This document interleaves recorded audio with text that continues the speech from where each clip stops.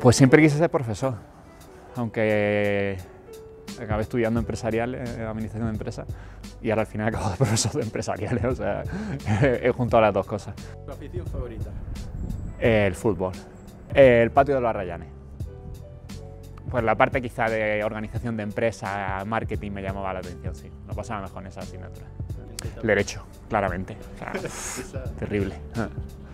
Y sigo haciéndolo, mi colacao con mi tostada de mantequilla, eso es fijo. El pulgar hacia arriba, siempre. Me considero una persona muy, muy activa, siempre está metida en 40 fregados, muy organizado también. Luego me encanta pasármelo bien, me encanta salir por ahí con mis amigos, con, con, mi mujer. Tengo mucha afición al deporte, me encanta, me encanta correr, corro con mucha frecuencia, corro maratones y cosas de este tipo. Y luego la música, el cine, son cosas que, que también me gustan mucho se me pasaron los años de universidad volando, imagino como todo el mundo. Siempre estaba metido en, algún trabajillo que me buscaba, en el deporte, en, el, fútbol, con las clases, los fines de semana, saliendo, en fin, que es que al final es una vida tan intensa la que pasa en, la universidad, conociendo tanta gente, que, que lo recuerdo con una añoranza y tan buena.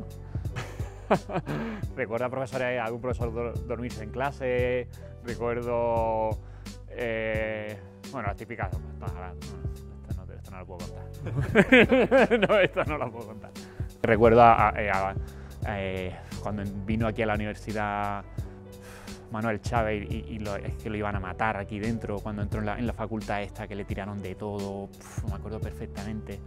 Claro, ahí éramos unos cafres, hay que reconocerlo. También recuerdo mi primer suspenso, ¿eh? sí, eso sí me acuerdo perfectamente.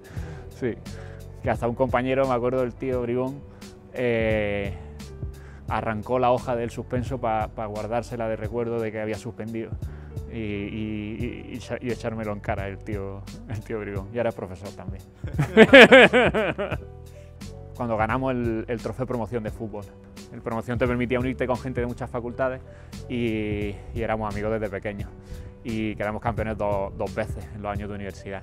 Y fueron, uno de los mejores recuerdos que puedo tener de, de, la universidad. Hombre, que es una oportunidad muy buena para crear el punto de encuentro de antiguos estudiantes de, la universidad acercarte a ella, a sus servicios, a sus actividades, creo que es una oportunidad muy buena. Creo que era un espacio necesario y el que se haya creado creo que le va a dar un, empujón grande a, la universidad y a todos esos antiguos estudiantes que pueden estar por ahí desperdigados por el mundo.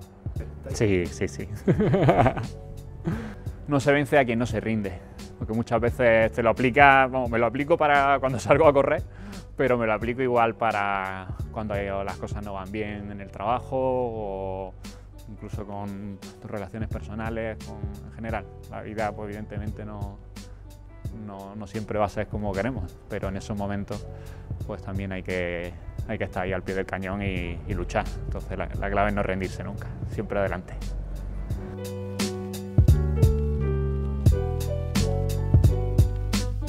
Inscríbete en alumni.ugr.es. Y también puedes seguirnos en Facebook, Twitter, Instagram, YouTube y LinkedIn buscando Alumni UGR.